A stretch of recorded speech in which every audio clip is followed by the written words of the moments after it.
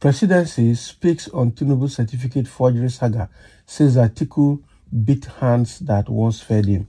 How? They want to take it to, uh, what they call it, sympathy level now. Eh? They want to take it to uh, a pathetic tone, emotional tone. But that will not stop what is going on. We really need to be realistic about what is happening here and need to be honest about it. That is it. So let's hear what APC is trying to say um, you know, that uh, Atiku did. Because Atiku is fighting for his right. Atiku was cheated and has the right to retrieve his mandate. That is the truth. What happened during that presidential election of February 25, 2023, nobody is happy with it and nobody loved it. The only thing Tinubu is forging ahead with violence. The same thing he said before the election that they have to snatch it, they have to hit it, they have to beat it, they have to fight for it, and they have to run with it that is what he's doing. It's just all electoral violence and violating all Nigerian laws because he's used to violating laws. So it doesn't mean anything to him. He lacks single iota of integrity. That is bad. So it's not about Atiku biting or beating the hand that once fed him. It's about uh, retrieving his mandate and refusing to be ridiculed. That is it. He has, he has a right to fight for his right. Senior Special Assistant to President Bola Tinubu on Media, Temitope Ajayi, has said the humiliation his principal had suffered due to the academic record controversy cannot be compared to the question of whether or not the Nigerian leader graduated from Chicago State University in the U.S. Okay, Naija News recalls that Chicago State University had released Tinubu's academic records following the request by the People's Democratic Party presidential candidate Atiku Abubakar. So the university on Monday presented to Atiku's legal team a catch of documents connected to Tinubu's education at the institution and copies of certificates which redacted names issued to other persons about the same time uh, the Nigerian president finished from the school in 1979. Reacting, Ajayi via the macro blogging platform formerly known as X uh, uh, uh, Twitter. Okay. that is uh, not formerly known as X, now known as X, formerly known as formerly Twitter, said that Atiku Abubakar of the PDP demonstrated the behavior synonymous with biting or uh, biting the hands that once fed him, all in pursuit of earthly position. Is Tinubu not pursuing earthly position? So why is this guy trying to sound pathetic? You call it earthly. If it's earthly, let Tinubu now resign now because of integrity issues, because of all the integrity issues on his neck. So why is Tinubu throwing uh, integrity to the bush because of earthly position as well? Let's be let's let's let's analyze this. For me, this issue is not whether President Tinubu graduated from Chicago State University or not, Ajayi wrote on X on the Tuesday evening. It is the fact that former Vice President Atiku is not a decent man. So if you compare Atiku and Tinubu now, who is more decent? We know that before now, Atiku is seen to be very dirty, very corrupt, and had a very huge appetite for corruption, okay, according to testimony that came from Obasanjo after the eight years tenure in office between 1999 and 2007. But right now, with what is emanating from Tinubu's side, Atiku appears to be a saint. Let's be frank. Okay, Atiku is appearing to be a saint wherever Tinubu is mentioned at this moment. So you cannot say that uh, Atiku is not a decent man. Is Tinubu decent?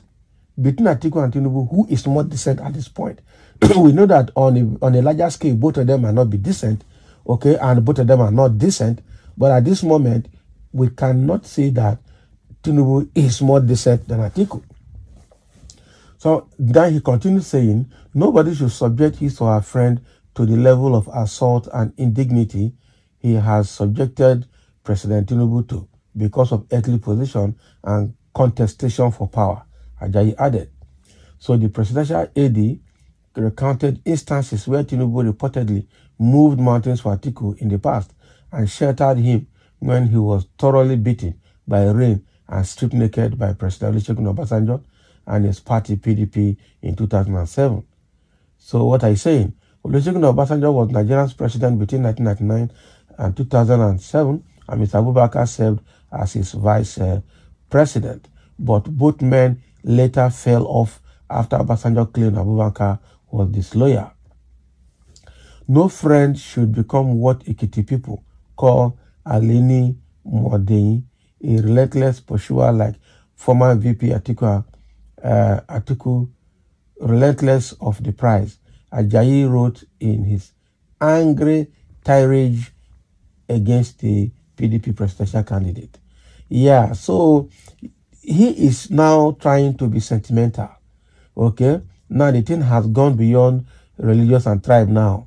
Okay, now when the Atiku and Tinubu contested, and you have have forgotten that you used to say that politics is uh, is uh, there's no friend or enemy. It's all about personal interest.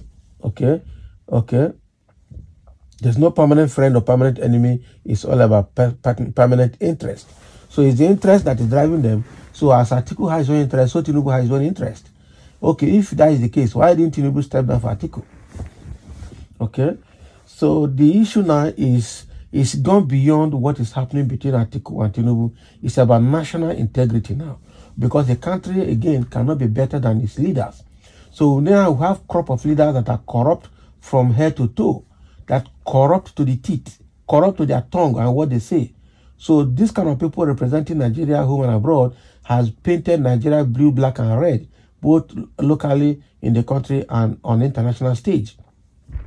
And I tell you, even though Tinubu said that uh, that uh, whatever CSC is going to release will cause him irreparable damage with respect to his certificate, what Tinubu is doing now is causing Nigerians home and abroad more irreparable damage than is causing to himself.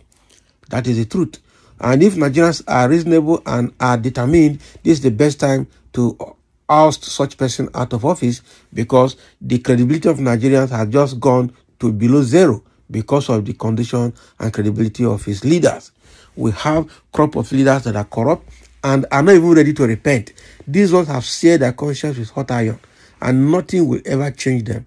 That is the truth nothing will ever change them. If people at the age of 60s, 70s, 80s are lying to their teeth like Lai Mohammed, I tell you, I don't think there's anyone that will change among them. And and the question is, what and what what uh, precedent are they putting down? What what foundation are they laying for the younger generation, which include their own children, their grandchildren, and their great grandchildren to follow after they have passed on? This is very, very terrible. This is like laying the worst of foundations for a nation, for a nation to, to ride on. And it is in, it is a kind of foundation that will haunt Nigeria in decades and centuries to come. I tell you, whatever Tinubu is doing today will be on record for the rest of his life and for the for the for as long as Nigeria continues to exist. And even if Nigeria disintegrate today, Tinubu's story will never be erased, and it's not for good.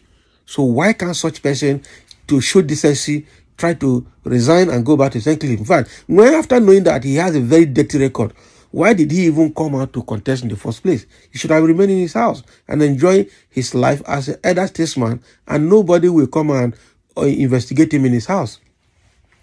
But because of greed for power and for earthly position, he has gone to this level, and now look at what is coming out of it this damage that is going to suffer because this is just chapter one or part one of the damage.